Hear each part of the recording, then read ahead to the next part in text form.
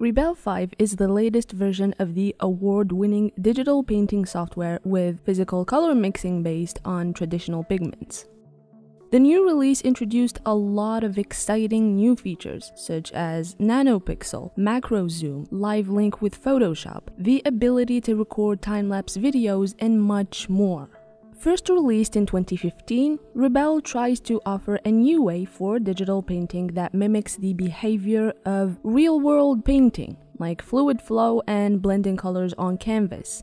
Rebelle 5 now comes in two different versions standard for $89.99 and a pro version for $149.99. In this video, we'll take a look at some of the new features that were released in this latest version. Of course, keep in mind in this video we'll talk first about the Pro version, but only the newly introduced features in this new version of Rebelle 5.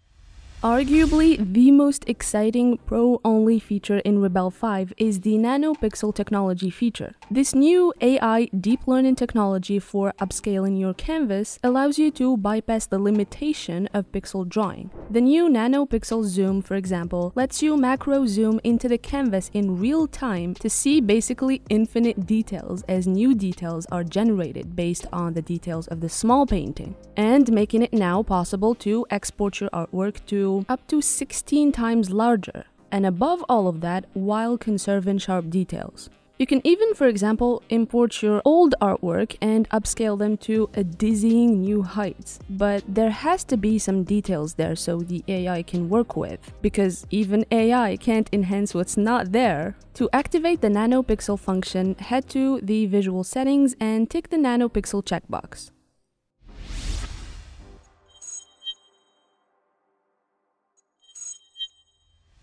Another great feature for the Pro version is the Photoshop Live Link plugin, Escape Motions Connect, which allows you to exchange layers between Photoshop and Rebelle after installing the script in Photoshop. In Rebelle, you can choose Export Layer to Photoshop, and a new layer will be added to your project. You can make changes and send it back to Rebelle using the plugin. This allows you to take advantage of some advanced feature in Photoshop that Rebelle lacks, like effects and masking. This is a really helpful feature. It saves a lot of time and makes the process seamless and easy.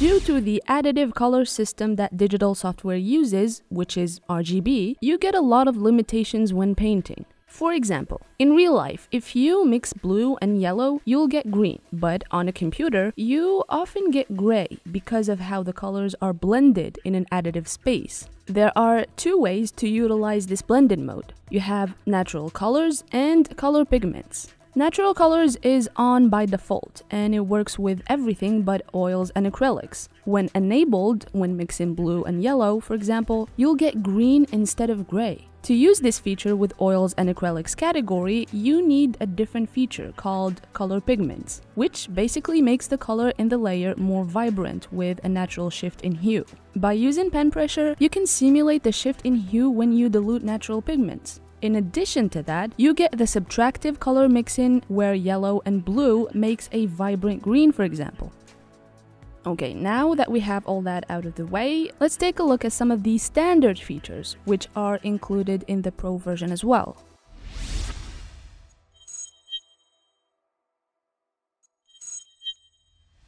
Another property has been added to your brushes. You can now load multiple colors on your brush by enabling the multicolor brush property for oils and acrylics. Now, by sampling multiple colors, you can see that your brush is sampling previous colors, which gives a really unique effect by juxtaposing one color over the other. However, it has some limitations. So, for example, you can't really control or specify which part of the brush holds which colors. Also, the loading actually runs out. It would be better if you can control the loading so you don't have to sample the colors every stroke when using a dirty brush.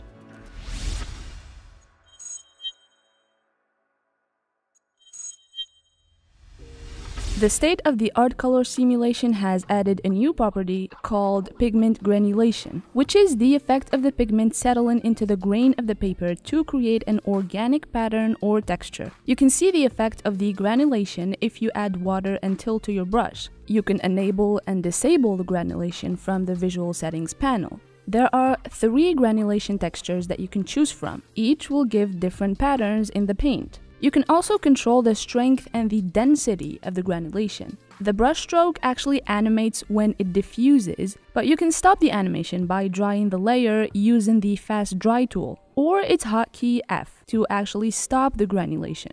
And new in Rebelle 5, you can now change the diffusion speed. That is the rate in which the watercolor flows and settles. So if you want a faster performance, set this to its maximum.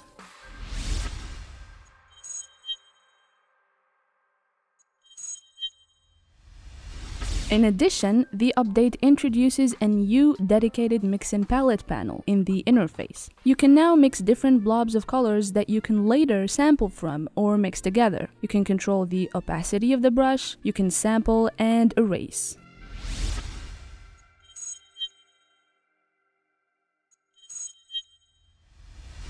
Other features that this version has introduced is the curve editor, which helps you define a curve for fine-tuning your pen expression, like pressure and tilt, size, opacity, and you can adjust the curve for different paint modes, and curves can be saved per brush. Furthermore, there are new volume presets that can hold presets of different brush settings such as size, opacity, water splash, oiliness, and pressure.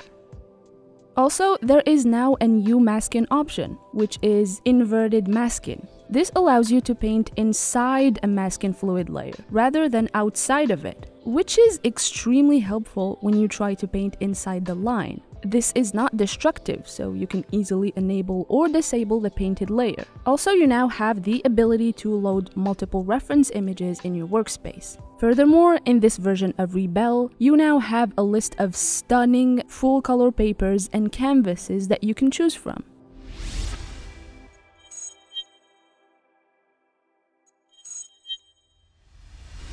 And last but not least is the time-lapse record feature, which allows you to record every brushstroke and export your painting process as a video. You can adjust the video settings such as quality, resolution, codec, and frame rate. You can also choose a destination and adjust the capture interval, which is how long before taking a snapshot of your artwork. This is great if you want to capture a time-lapse video of your painting and share it on social media. If you want to see the full list of features and you want to try Rebelle for yourself, follow the link in the video description.